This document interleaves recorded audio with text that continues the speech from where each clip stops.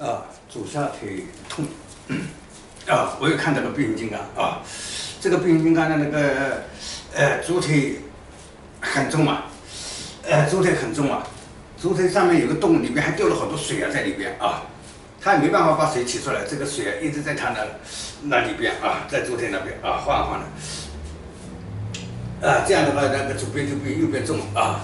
哎，正在回去，哎，正在回去，哎，哎，正在回去，啊，正在回去，啊，正在回去，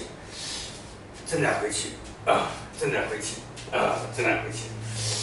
啊，正在回去，啊，正在回去，啊，然后，然后，啊，绳子拉了就上去了，啊，回去了，啊，回去了，啊，回去了，啊，为什么？呃，在五六百年之前有有这批那个建的这批那个，呃建的这批那个变形金刚的，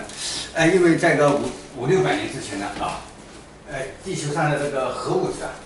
哎，从那个其他地方飘来的核物质，呃，又开始积累的量比较大了啊，积累的量比较大的时候呢，呃，飞碟经常性的会过来，呃，过来那个检测，呃，检测那个核物质浓度啊。检测的时候呢，飞过来的时候呢，啊，啊，会不小心把那个呃天人的云呐，他们在云上走的时候啊，天人的云就散掉了啊，散掉以后，呃，呃，发生的概率比较大，呃，所以那个时候就他们就想到了，呃，造变形金刚去救援啊，因为他们就呃造的时候就没没造好嘛，也就第一次。也就第一次造嘛，也造第一次也是最后一次造，没造好，啊，所以引出来的引出来的问题啊，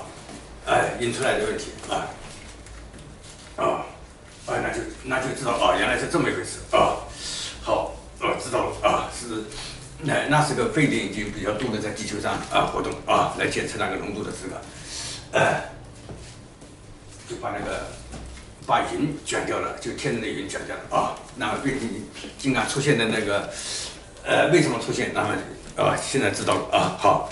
好，再见啊，再见啊，再见。